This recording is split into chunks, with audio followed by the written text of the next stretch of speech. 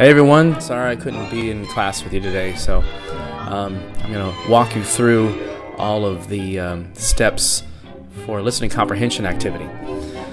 So, you probably have a piece of paper uh, ready to take some notes. Um, you'll, in this listening, you'll be uh, uh, having uh, questions uh, that will be asking you about details, which is the most common co- type of, of uh, TOEFL question. Of course, the gist main idea, the gist, is usually the first thing that uh, they say. And so you want to make sure to, yeah, make note of that. Why is the professor giving this lecture? What's the point, the purpose? Maybe it's a review. Maybe it's an introduce a new topic. Uh, who knows? But yeah, listen for the very first thing and then take notes on that because you'll be asked a question, no doubt, about that. You got your paper, and be sure to don't write down every single word uh, and be sure to try to shorten the words so that they are like abbreviated or use symbols or uh, draw pictures uh, or you know even in your native language just so you can remember it for the next two or three minutes so here we go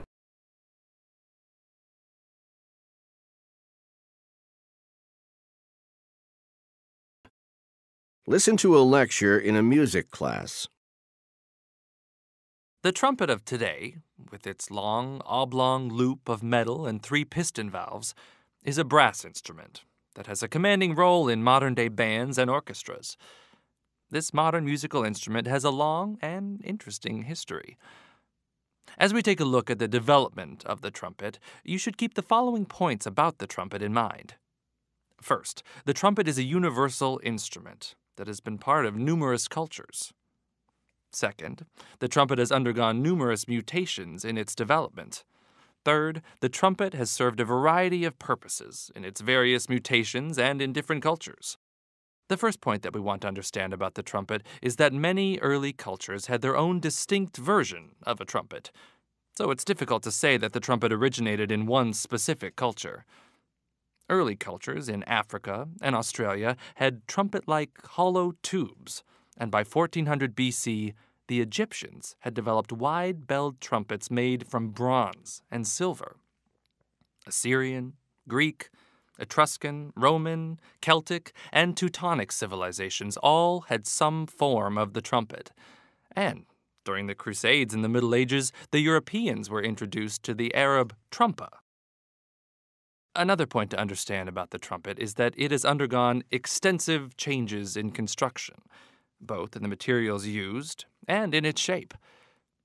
In this drawing, you can see various types of trumpets that have been used throughout the ages.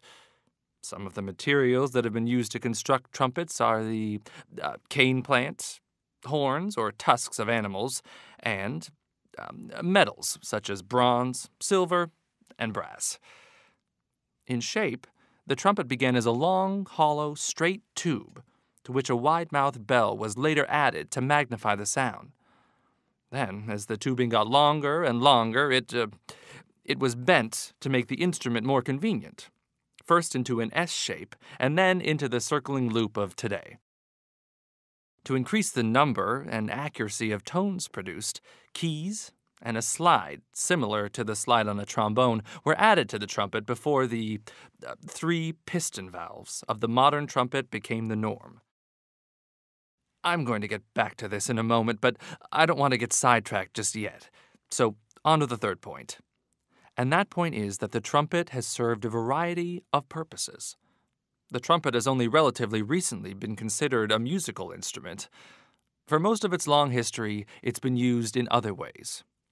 First, the trumpet has been used for ceremonial purposes, perhaps to herald the arrival of an important person, or to add to a celebration or rite. In addition, the trumpet has been used for communication over distances. Ancient versions of the trumpet with a limited range of low, powerful notes were used for communication from village to village and from mountaintop to mountaintop. Finally, the trumpet has been used by numerous cultures in battle to announce the charge into battle and to encourage troops to fight more intensely during battle. It wasn't until the last few centuries when changes and improvements to the trumpet made it more versatile, that it became established in its role as a musical instrument. Now, the biggest problem with the trumpet as a musical instrument was its limited range of notes. Because of the physics of its design, the natural trumpet, um, this is the trumpet that has only one long tube, can only sound the notes of a single overtone series. That means it cannot play all the notes of classical music. For centuries, this fact kept the trumpet from reaching its full musical potential. It was the addition of the valves, perfected at the beginning of the 19th century, that allowed the trumpet to become fully uh, chromatic, or able to play all of the notes of the classical scale. Another important addition to the modern trumpet is the tuning slide. Slides had allowed trumpeters to change pitch for a long time, but the tuning slide of the modern instrument has the purpose of simply keeping the trumpet in tune. It can be adjusted so that the trumpet can always be tuned to exactly the correct note. Okay, so now you see what the trumpet was used for through history. And you can also see why very little music was written for the trumpet until the 19th and especially 20th century. This was when the modern trumpet achieved the necessary range through various improvements.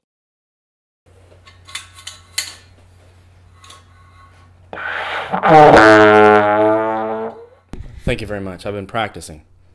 So, trombone. Uh, I don't play, but neither does my wife, really. So she just has it as a decoration. But that's what this is trombone. Everybody say trombone. You have a partner. You don't know what page the questions are going to be found. So at this point, before I tell you the page number, uh, just talk with your neighbors there at your table and try to guess and anticipate what kind of details am I going to be asked? Not me, you. Uh, what kind of details are you going to be asked? You'll speak, I will not listen. You can pause the video. All right, you've taken excellent notes and you've uh, worked with your partner trying to guess what kind of questions you're going to get. And here is the page number. Nailed it.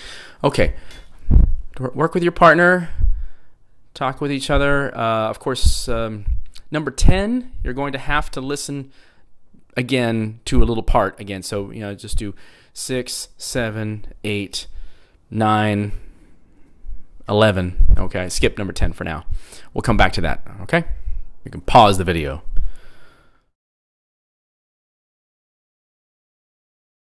All right, first question is a gist question.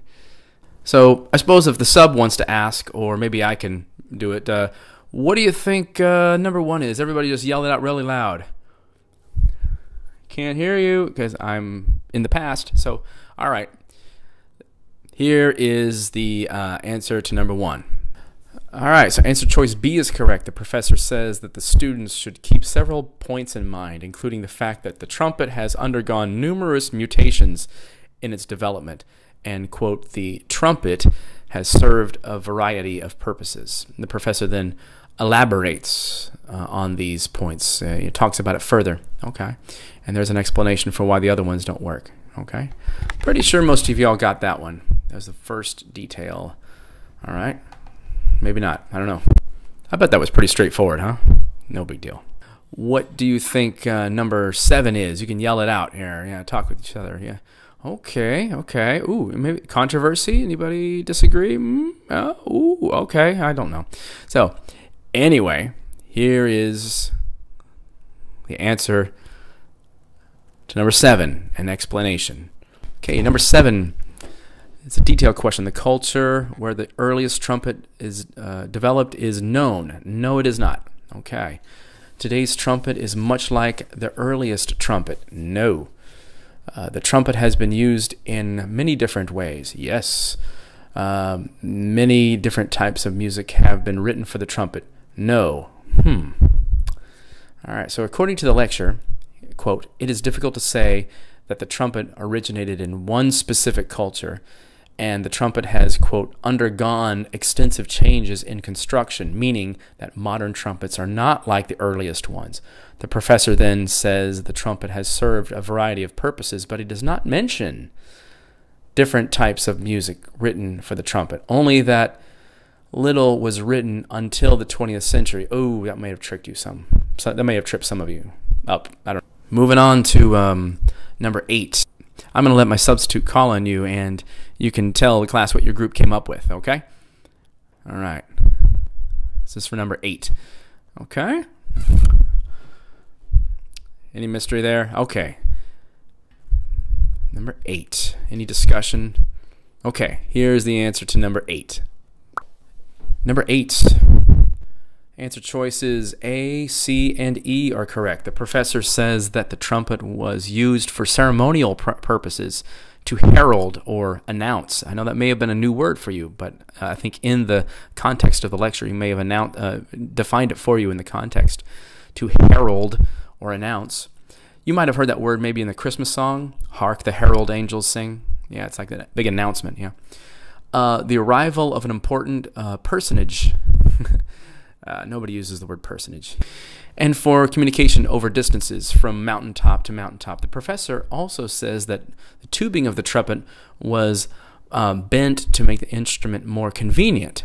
Answer B is incorrect because the professor does not mention that trumpets were carved from stone and that although he describes some of the other materials trumpets were made of, he does not imply that they were made of metal only in the latest. Um, that they were that were made of metal only in the last few centuries. Therefore, D is incorrect. Ooh, shoot, maybe not. Yeah. Um, okay, that's number eight. All right. Okay, moving on to number nine. Maybe uh, the substitute can call on somebody else now from a different group. Uh, maybe somebody in the back.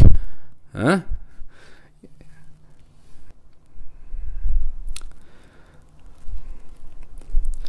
All right. Here is the answer.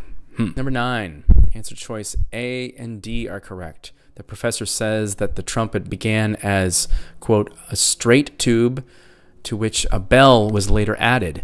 He then add uh, the, he then says that later the tubing was bent.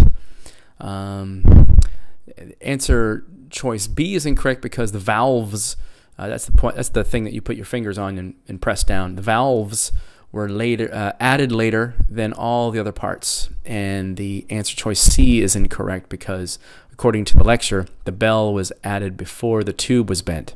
Okay, that's number nine okay, for number 10, you've got to listen to a clip again and, uh, and uh, infer the meaning from uh, his tone of voice and uh, other things. So here is the clip to hear, hear again for number 10.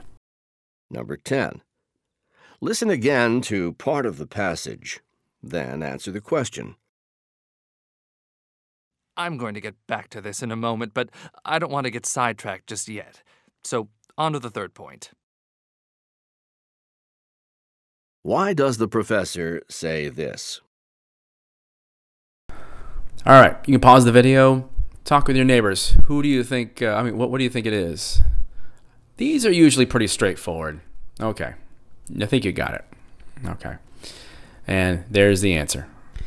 All right, here's number 10. It's the function question, listening for inference. It's B is correct. Professor said he, that he is, quote, going to get back to this that is to say, his second point, in a moment. he says that he doesn't want to get sidetracked. There's an idiom there. You know, I'm not sure what sidetracked means. It means it distracted from his original plan. And hopefully, maybe from the, the lecture there, from the context, you can kind of uh, infer that meaning.